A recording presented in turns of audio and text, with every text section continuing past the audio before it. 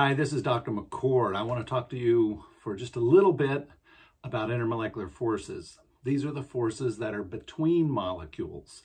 That's what makes one molecule want to stick to another molecule. We categorize these into three different types. The first type is called dipole-dipole interaction, and it only occurs if you have a polar molecule. So you have to understand how polarity works. The partial positive part of a molecule will attract the partial negative of that same molecule and kind of pull them together. This is dipole-dipole interaction. The second one is kind of a special case of dipole-dipole interaction called hydrogen bonding. It's a special case because it just happens to be a very strong case. When you have hydrogen attached to an oxygen through a covalent bond, the hydrogen ends up being partially positive, but in a very special way, meaning it is much more partially positive than your normal partial positive. So this attracts others. Now this hydrogen bonding works only when the hydrogen is attached to an oxygen, a nitrogen, or a fluorine. Now the fluorine one is one single case. It's just hydrogen fluoride. And then you're done. There are no other cases. So that's just one molecule. But we needed to include it.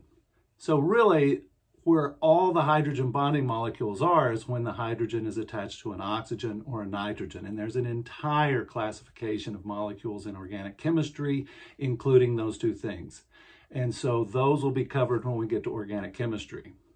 The last, and certainly not least, is called dispersion forces. And dispersion forces are the weakest of the three, but there are strength in numbers. So a dispersion force occurs in all molecules. Doesn't matter if you're polar or nonpolar, they're in all of them.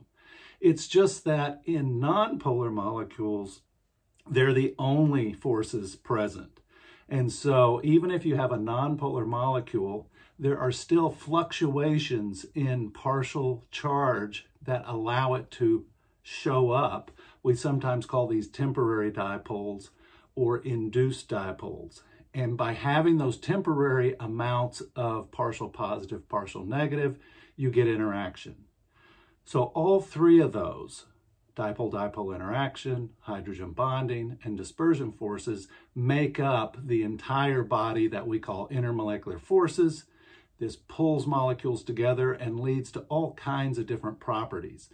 The stronger these forces are, the higher your boiling point will be. The stronger these forces are, the higher your melting point will be.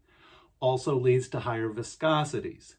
So there are a lot of things that come into play because of intermolecular forces. Vapor pressure is another one. So vapor pressure will also decrease when you increase intermolecular forces because the molecules are held together tighter.